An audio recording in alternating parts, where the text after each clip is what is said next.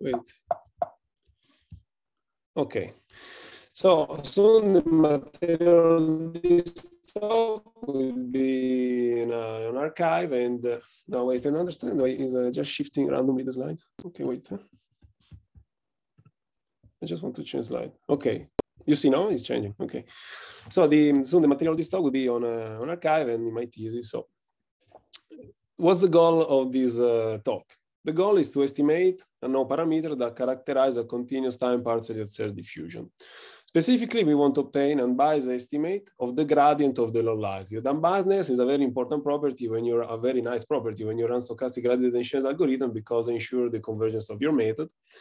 There are many challenges in a continuous framework because you need to deal with the diffusion dynamic, the, the, the time discretization of the diffusion dynamics, and also because the um, log likelihood function is not is not possible to solve analytically. So we also need to we also need to discretize it to get an evaluation of it. Uh, the mathematical framework consists in this uh, system of stochastic differential equation with an underlying process xt that we do not observe and the observed process yt that we do observe that depends over the underlying process. The uh, observed process yt has this uh, drift uh, term h that depends over uh, this unknown parameter theta. This unknown parameter theta is what we want to recover with our method. So to that system of stochastic differential equation, first of all, we apply a change of measure that has the following Radon-Nikodym derivative as in equation two. The effect of this uh, change of measure decouple the uh, two uh, the two um, stochastic differential equation in the system. xt keeping on following the same dynamics. yt under that change of measure is simply a Brownian motion. Um, the solu under this change of measure, the solution of the Zakai equation, that is the likelihood function of the system, is the is the one at the bottom of the slide, uh, gamma. So it's uh, that is the uh, how it look like the, the likelihood function after this change of measure. Thanks to the change of measure, thanks to this change of measure, has been proved by Campillo Legland the following identity for the gradient of the log likelihood. So, think, so we can express the gradient of the log likelihood for that system thanks to uh, using that uh, result. And uh, you can see that there is this lambda that is this term that has the following shape as here in as, as this shape here with this integral of the gradient of h. Uh, so this is the identity that will we use from now on to describe the gradient of the log likelihood. As I say, we need to deal with the uh, time discretization of the model. So uh, here I just wrote some um, discretization of the stochastic differential equation by Euler-Maruyama numerical scheme. That is a very well-known first order scheme. And uh, I discretize coherently also the Radon-Nikodym derivative to express the Radon-Nikodym. Under all this discretization that we need to discretize the diffusion processes, the gradient of the log likelihood can be rewritten simply as the expectation of lambda that I, that I showed earlier in the previous slide uh, with respect to the time discretized smoothing distribution. Okay, so the identity that I mentioned earlier after the change of measure that we can apply thanks to that change of measure becomes simply the uh, expectation of lambda with respect to the smoothing distribution. So we can, we can express the gradient of the log likelihood in this way. Um, so the first task that we want to solve is like, how can we say, so we can see that to get an evaluation of the gradient of the log likelihood under this discretization, we can just simply think to uh, simulate trajectory out of a smoothing distribution, evaluate lambda on these uh, trajectories, and simply get an average, know? Uh, so the first task that we want to solve is like, how can we sample out of a smoothing distribution? There are many ways to sample out of a smoothing distribution. In this project, we use a Gibbs sampler called conditional particle filters to generate sample out of a smoothing distribution. So how does it work? This uh, conditional particle filter is a Gibbs sampler. So it simply generate a Markov chain that iteratively generates samples from a smoothing distribution. Each iteration consists in, uh, we in having this input trajectory from the previous step. We sample n minus one trajectory up to the unit time following the underlying dynamics, uh, the time discretized underlying dynamics. We fix the nth one equal to the uh, input trajectory. Then we assign some weights to this uh, nth trajectory.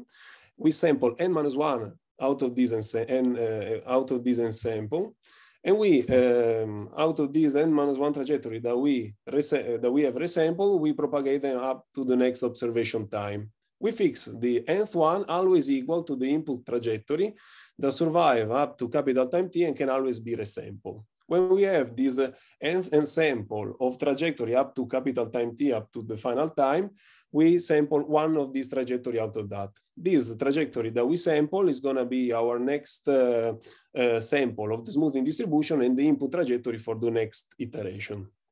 Okay, so uh, as I say, we the goal of this project is to propose an unbiased estimator for the uh, for uh, the gradient of the log likelihood out. we want to build it out of uh, time discretized terms out of yes, we want to, we want to, uh, we, we want to propose an unbiased estimator out of time discretized evaluation of lambda. How can we do it? We apply this idea by Rhee-Glynn uh, that uh, has been proposed by Rhee-Glynn in 2015, also Vihola in this paper of 2017, that basically consists in uh, assign a, probability mass over a level of hierarchy. Um, and for each level of this hierarchy uh, is assigned a random variable, CL, that correspond to the evaluation of lambda on two consecutive mesh size. So we propose, we generate out of this framework the estimator, uh, pi hat, that uh, by sampling one level out of this uh, level of hierarchy in which there is this probability mass, capital L, and we build the following estimator. That is a summation from L equals zero to capital L of CL divided the survival function at level L. So uh, this is the that is the estimator that I wrote here in uh, this is the equation four. Why this we claim that this is unbiased? Let's compute the expected value of it. I'm sorry, Marco. I'm sorry. Yes. Question. Can you please yes. go one uh, slide back? Yes. So is it just first step? Because in your title written that you estimate log likelihood gradient, but in first line it's written that you uh, estimate uh, density, posterior density, it seems, yeah? So it's just first step. First you estimate no, density. posterior, no posterior density. But what is p theta? P, this one, pi theta. No, no, just first line in the slide, first line. Unbiased estimator of p theta, yeah, first, yeah, exactly. Pi, pi theta. What is this? this? Is, this is the evaluation of lambda over the smoothing distribution. So I simply the, try to evaluate this term. Uh-huh. So we want to evaluate I, this term, no? Because it's simply the, that is equal to the gradient of the log likelihood. Uh. Thanks to this, identity that we apply. Okay, and then second step. So uh, are you estimating general gradient of general log likelihood or of some particular case? For example, log likelihood of Gaussian, join Gaussian looks different from, I do not know, Poisson or some other uh, mm -hmm distribution? They, they look all different. The point is that uh, uh, under we, so now I, I, um, I the, the, framework in which actually I'm talking, so when we apply that discretization works when you use a numerical uh, Euler-Maruyama numerical scheme to discretize it, since you can see the discretizing the discretizing this equation, that is the identity that's been proved by Campillo-Legland, Applying numerical Euler-Maruyama numerical scheme to discretize it, you get this transition density that's simply a Gaussian uh, transition density, you no, Ornstein-Uhlenbeck transition density. And so uh, under that change, under that uh, um, discrete numerical scheme that we use, the Euler-Maruyama numerical scheme, simply that identity that I mentioned earlier, it becomes simply the evaluation of lambda with respect to the class uh, of time discretized smoothing distribution. Okay, so this is like the time discretization. Then of course, is for a general uh, framework. So you can apply to every system that has the following shape. So it's a Okay, thank you for clarification. But just last mm-hmm. question: Do you yeah. have explicit formula of log likelihood? Uh, no, that is the point. That we don't have an explicit formula of it. It's, it's the following one. So it's simply the expectation of value of this uh, Radon-Nikodym derivative under the filtration of process. So this is the this is the um, the the likelihood function that discret the discretized version of it under that one that I mentioned earlier look like the following. Okay. Okay. Thank you. Yes. Okay. Thank you. Um, okay, so that's the idea. No? So we want to generate this unbiasedness. Uh, we want to generate the, um, the, the estimator, uh, the, an unbiased estimator as follow. So applying this idea. So uh, basically, as a, just to resume, having a probability mass over levels or hierarchy, and then uh, to each level correspond the following random variable, CL, and build the, the, the unbiased estimator as follows. So sample one levels, capital L over this level of hierarchy and evaluate it as follows. So the summation from L equals zero to capital L, CL uh, of CL divided the survival function, so the one in four. So why is unbiased? Let's consider the, let's compute the expected value of it.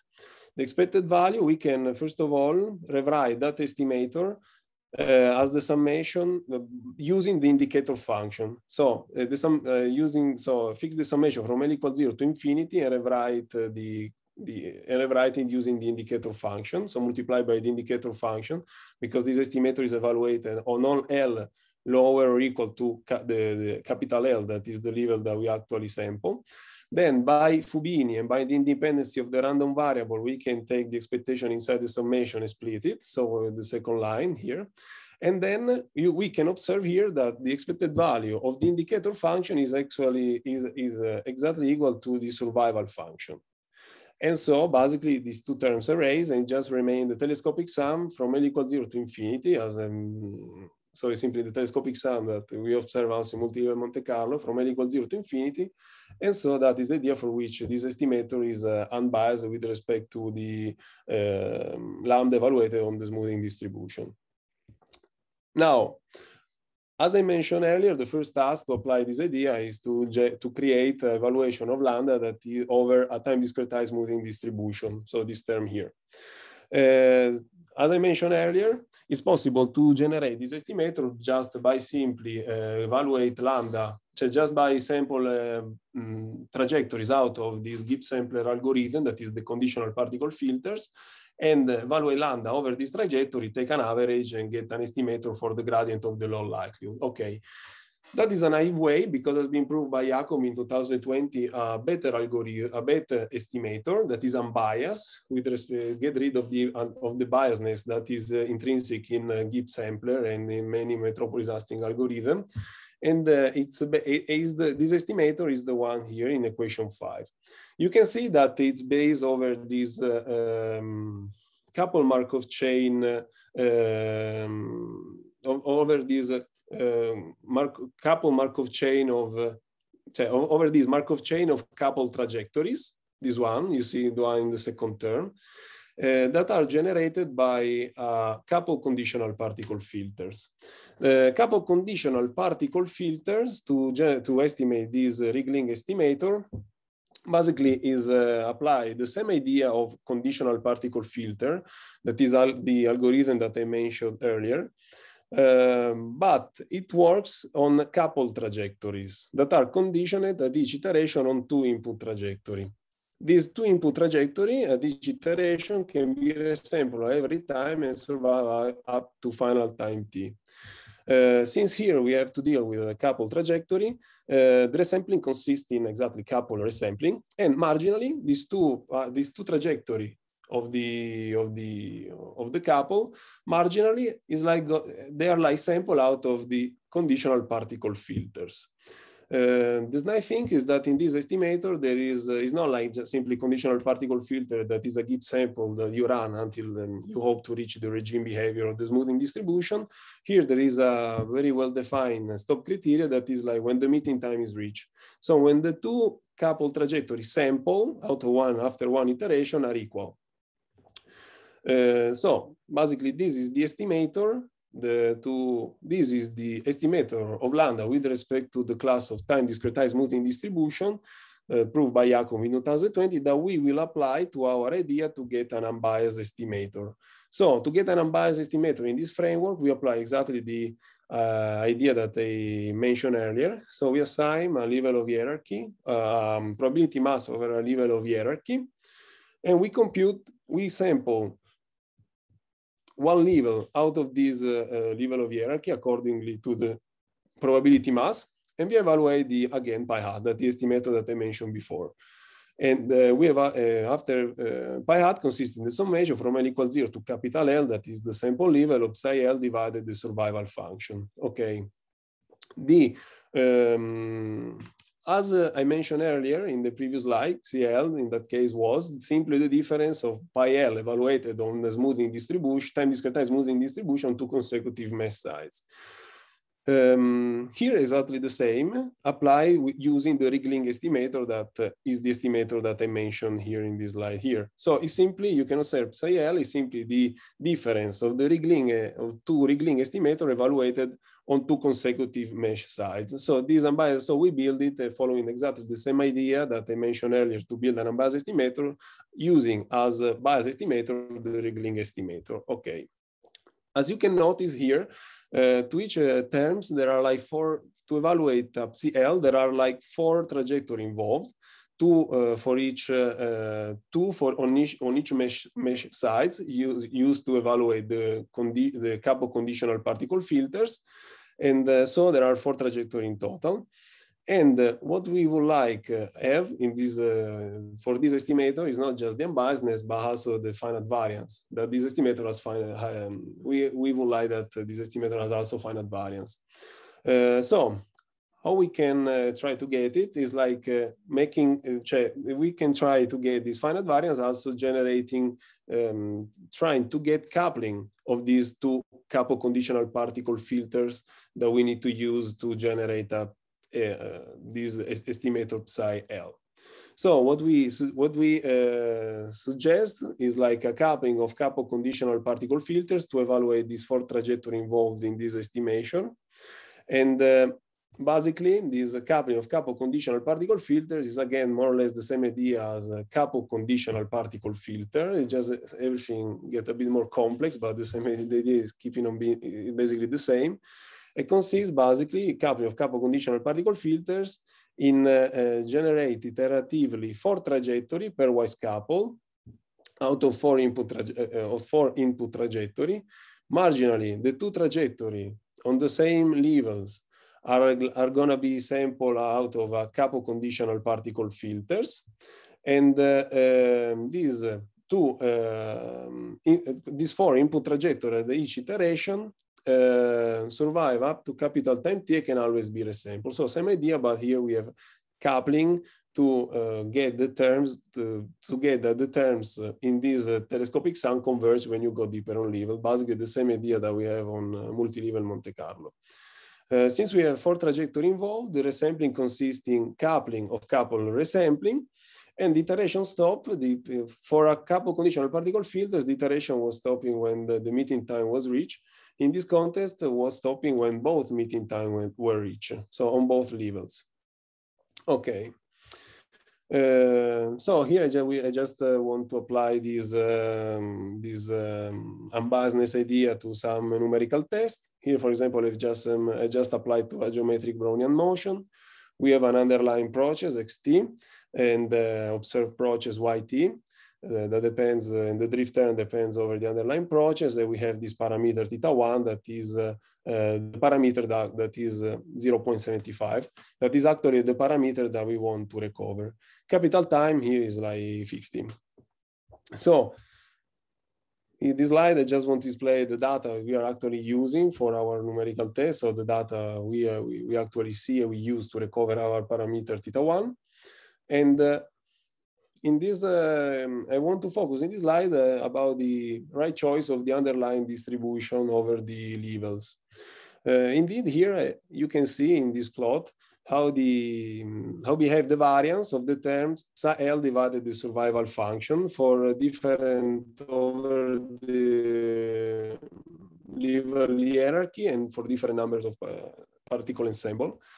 Um, if we focus on uh, how behave going deeper, deeper on the levels, you can see that uh, if we pick this uh, probability mass distribution as geometric distribution, the, the variance is exploding. While if we pick it as an empirical distribution that goes with the square root of the time step, actually the, the variance is not exploding, remain constrained. Why that? Because simply the geometric distribution, it's uh, put a lot of mass over the courses levels. So there is higher chance building the unbiased estimator to sample courses level. But the survival function for this reason decay very fast. And so uh, this uh, reflecting the explosion of the variance of the estimator. Indeed, if we take an empirical distribution that put much more, uh, put more weights also on deepest level, uh, the survival function p capital star does, does not decay so fast and so the final the, the variance remain does not explode um, here, it's just on the left, uh, more or less exactly what I just mentioned you, where on the y, y-axis uh, I displayed the mean square error solved by the unbiased estimator for these two different choices of underlying distribution over different numbers of uh, ensemble, particle ensemble. And uh, um, it's exactly what you just observed, that basically the unbiased estimator with underlying geometric distribution has higher variance with respect to the empirical distribution.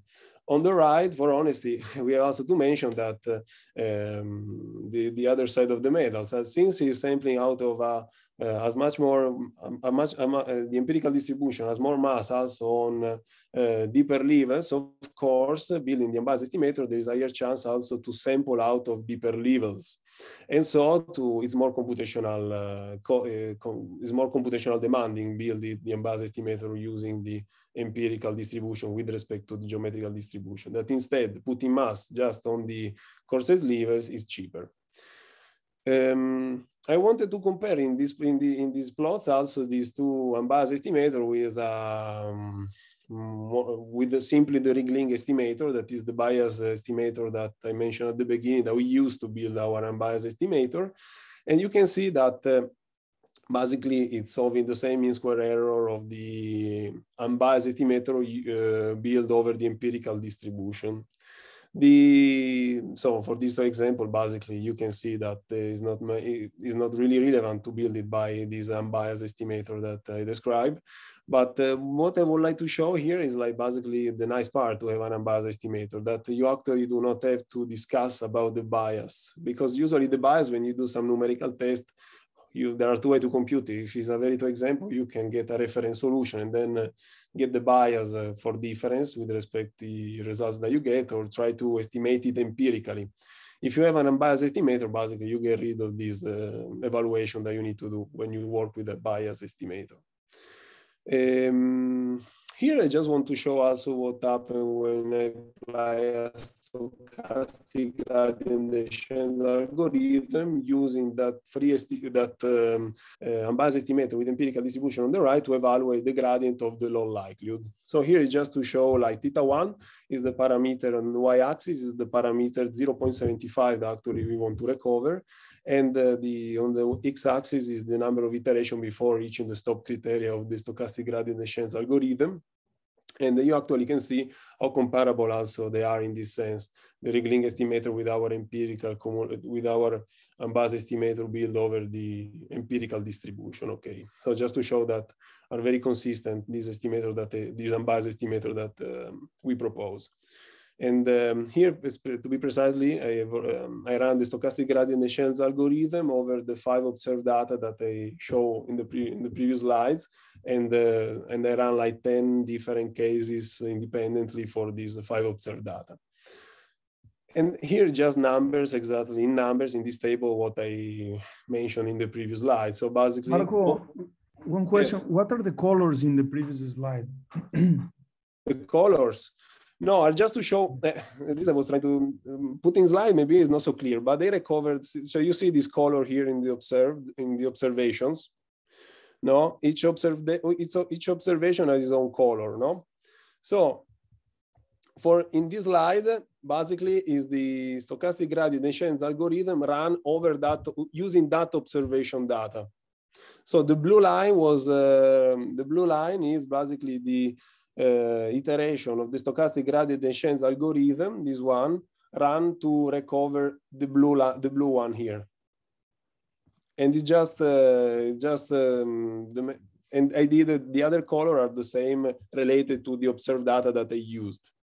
Okay. So here you just see free, but there is basically an overlap of the violet over the blue because basically the parameter that you want to recover is, is always 0.75 no, that is the no one. Then, of course, given the stochasticity, since uh, they need to recover the parameter theta one over these five observed data, I do not expect they actually will recover the, the precise uh, theta one. Indeed, you can see in the table that the recover parameter is something very close to 0. to that value, but um, it's not exactly 0.75 given the stochasticity of the observed data. But uh, what is very nice is that it's very coherent in all the three uh, unbiased estimator that I use to evaluate it. The, so that the two unbiased estimator using the geometrical and empirical distribution and the Rhee-Glynn estimator. Uh, the iteration to recover this parameter theta 1 uh, reflect exactly all the discussion that I did before on the variance. So indeed, the, the empirical and the Rhee-Glynn estimator that have not much variance not much variance. They have variance, but is much lower, is comparable and is lower than geometrical distribution. You can see that more or less take the same numbers of uh, iteration before reaching the stop criteria, while the geometric distribution that ha has higher variance take more iteration. And the time reflect also here the what I mentioned, what I, what I show you in the previous slide. Rhee-Glynn is the cheaper because just sample out to level zero.